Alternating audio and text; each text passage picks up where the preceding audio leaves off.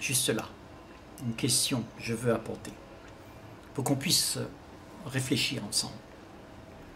Est-ce que dans la relation, on peut aller au-delà du mot, au-delà de tout le concept que l'on a, au-delà des idées que l'on a, au-delà de toutes les pensées qui se mettent en place dans la relation? Ces pensées se mettent en place systématiquement dans une relation où il y a un ping-pong qui se joue entre les pensées et les pensées. Chacun met sur la table ce qu'il est et puis l'autre répond. C'est du ping-pong. Et souvent ça passe du coq à l'âne, c'est un combat d'image à image qui se projettent l'un de l'autre. Et on est omnibulé par cette relation qui nous donne un sens d'existence en fait. À travers cette relation, on existe. Parce que l'autre euh, reconnaît que ce que tu es là, euh, l'impact. Donc il a l'impression que tu existes vraiment. Et toi aussi. Tu dis, mais là, il y a quelqu'un qui,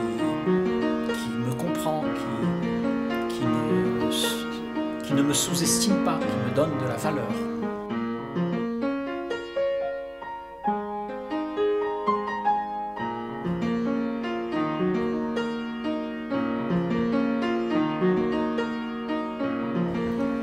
Et là, je suis en train de te dire, est-ce que dans une relation, on peut aller au-delà de tout ça?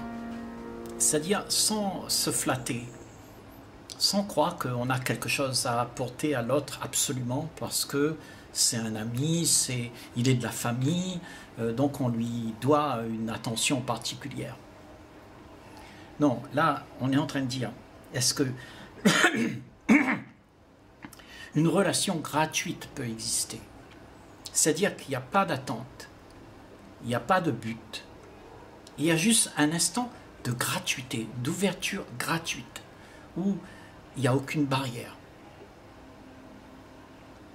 Parce que si on a cet état d'esprit, alors on peut aller profondément dans la relation. On peut découvrir, au-delà de tous les concepts, de tous les sentiers battus qui se font depuis toujours, quelque chose de neuf. Un contact direct avec ce qui est. Pas avec ce qui devrait y avoir, mais avec ce qui est, ce qui est là. Pas l'américain, le chinois, mon cousin, mon papa, ma maman, non. Au-delà de tout ça, il y a un contact qui se fait, et ce contact, c'est un lien qui nous relie à quelque chose d'immense, d'incroyablement immense. Et comme c'est immense, alors on a l'impression qu'on va se perdre là-dedans. Donc on freine. On se donne une allure. On se donne le droit d'être celui qui se méfie. Et donc on, freine la relation, on freine ce contact direct à cause de nos peurs. La peur d'être ouvert totalement et de ne pas savoir qu'est-ce qui va advenir là. Parce que justement, c'est dans ce contact qu'il y a des choses qui arrivent, qui sont inédites, et on peut aller au-delà d'un voyage euh, qui a toujours été le même.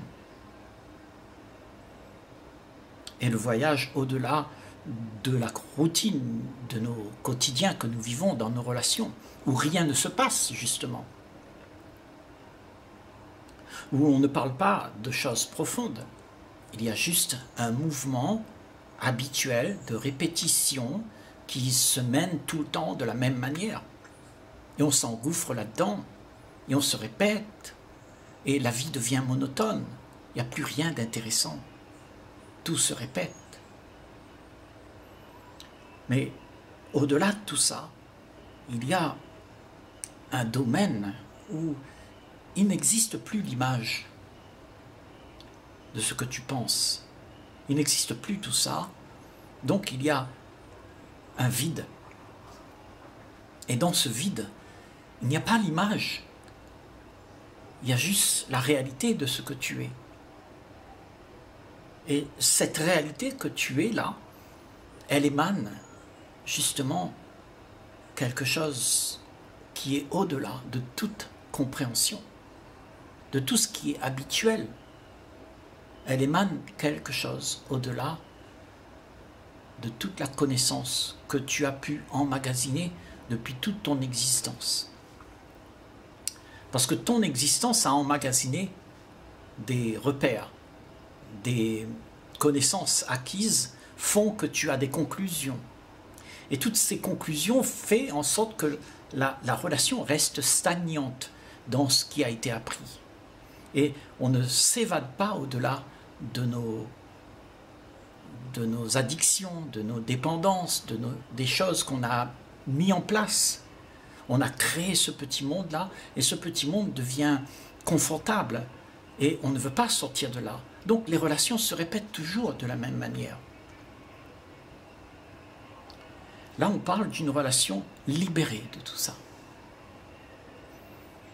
Libérée du fait ce qu'il y a au-delà de tes peurs, tu laisses tomber tous les préjugés, tous les angoisses, et tu t'ouvres complètement. Tu es ouvert. Et quand tu es ouvert, tu émanes quelque chose. C'est seulement celui qui émane quelque chose qui peut être ouvert. Si tu es fermé, tu n'émanes rien tu émaneras seulement les habitudes, les trains-trains, la relation coutumière avec les batailles, les conflits, les peurs, les angoisses. Mais là, on parle d'une ouverture qui émane ce qu'il y a au-delà de tout ce qui a été acquis. Parce qu'au-delà de tout ce qui a été acquis, il y a quelque chose d'inconnu, d'immense. Et en fait, toute cette effervescence qui arrive là, elle défie, elle défie le statu quo. Elle défie la logique d'une société qui a été toujours mise en place de cette manière-là. Elle défie les relations. Elle montre qu'il y a quelque chose au-delà de l'habituelle façon de se côtoyer, de regarder la vie, de conclure. Il y a une autre façon. Et cette autre façon nous fait peur. Parce que si on va au-delà de tout ça, ça veut dire que tout ce que tu sais doit être abandonné. Parce que c'est un mensonge. C'est quelque chose qui est faux. Le vrai se trouve dans l'ouverture. Quand tu cesses de ruminer tout ce qui a été tout ce qui a été fait, tout ce qui a été dit, tout ce qui est conforme à la norme de nos relations. À ce moment-là, il y a une, ouverture. Et cette ouverture peut voir ce qu'il y a à l'horizon. Une vision à l'horizon au-delà de toutes les différences qu'il y a dans les relations. Il y a une vision au-delà de tous les protocoles arrangés, de tous les dogmes, les images que l'on s'est fait. C'est-à-dire que la vue s'élève au-dessus de tout ça. Et là, il y a quelque chose qui entre en jeu dans la relation.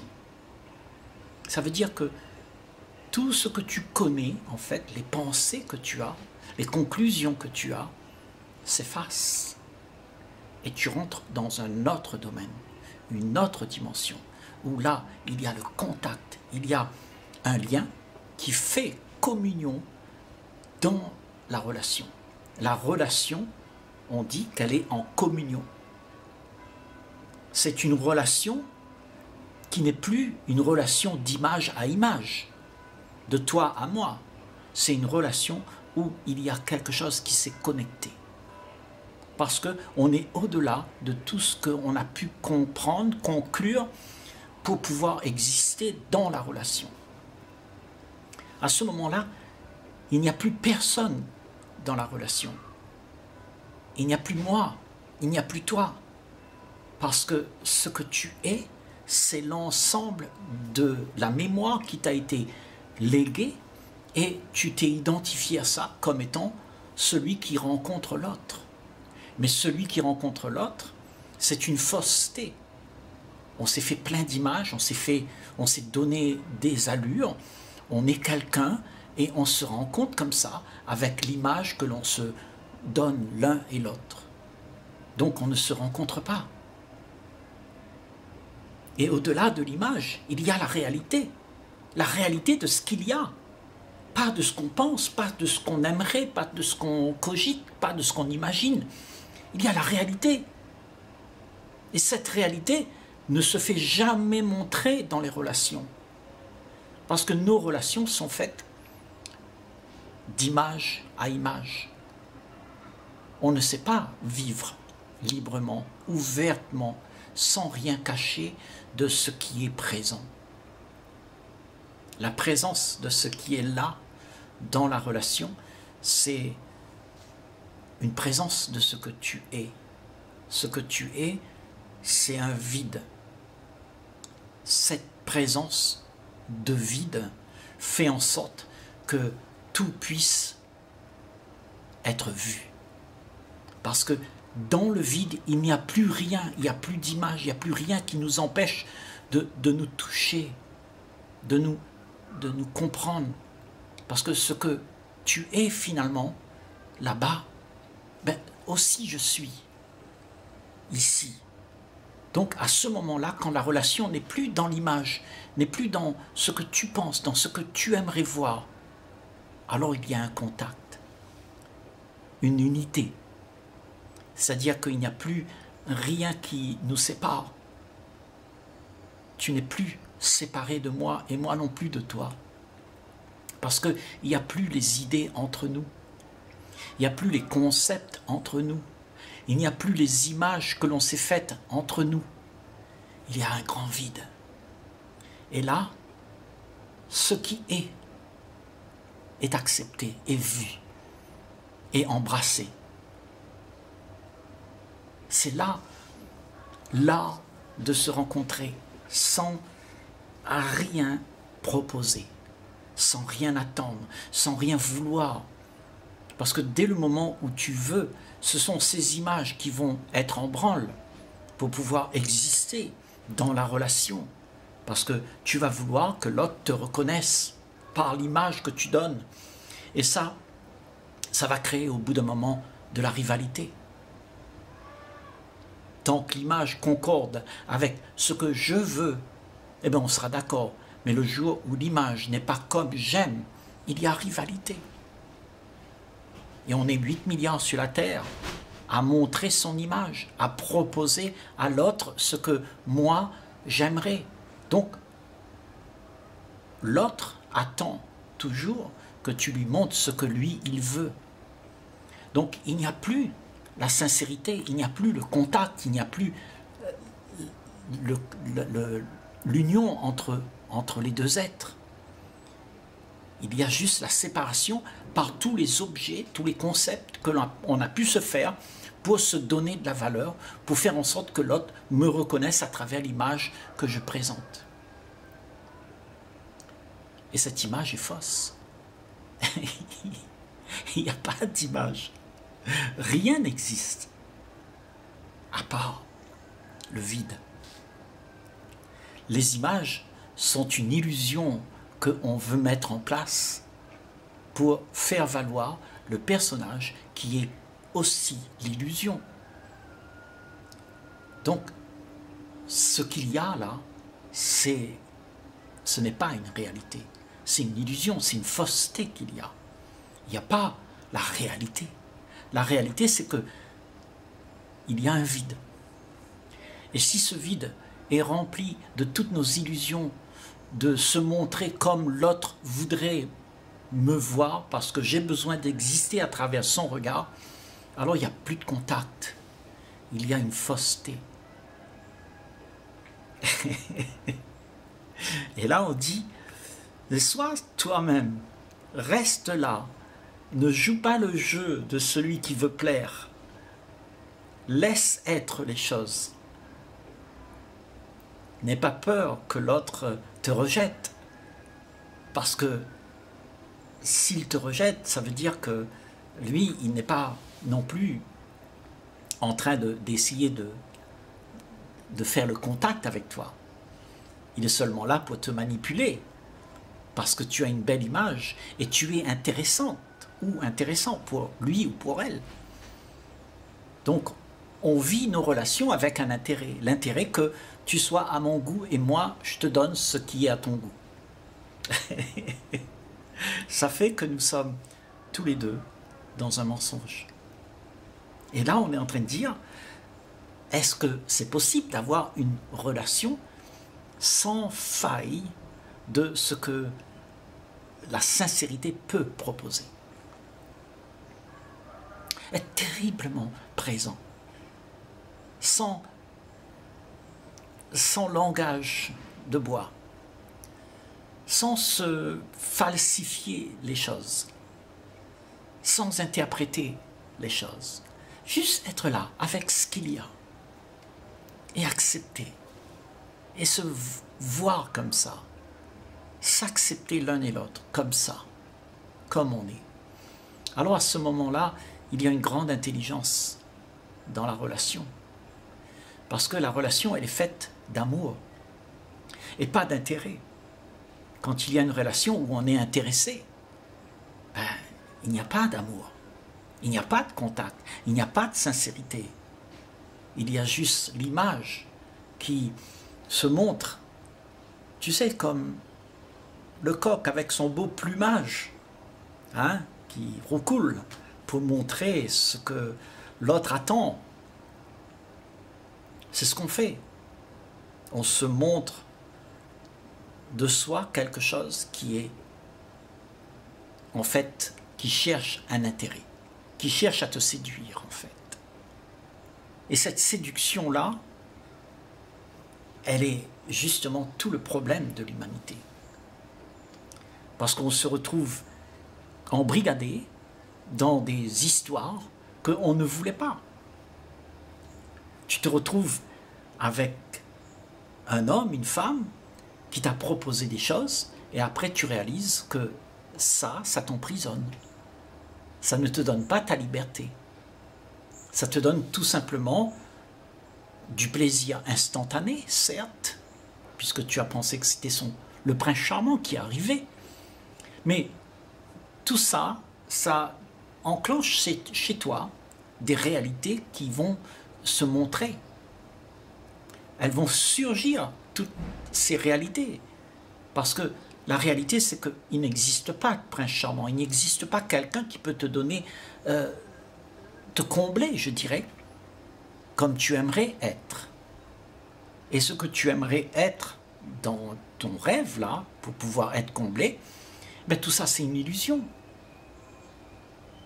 Ça, c'est l'activité de la relation intéressée qui veut se faire valoir pour ne pas être face à ce grand vide. C'est seulement dans la relation sincère que ce grand vide peut être vu. Ce contact peut être fait. Cette union gratuite, neuve de chaque instant, parce que c'est la vie qui travaille là, c'est la vie qui, se meut là, où l'image n'est pas. Il n'y a plus personne, parce que l'image, c'est représenté par un personnage. Et le personnage n'est plus là. Il n'y a juste plus rien. Donc le contact se fait. Donc tu es dans le rien. Et tu t'aperçois que tout est rien. Et que tout est toi. Il n'y a pas moi, il n'y a pas toi. Il y a juste une union entre tout. Parce qu'il n'y a pas d'image. C'est comme ça qu'on se rencontre pour de vrai. Et je crois que c'est une méditation de jour en jour, d'instant en instant, de minute en minute, pour ne pas se faire leurrer par ce que l'on pense être, pour pouvoir être accueilli de l'autre côté.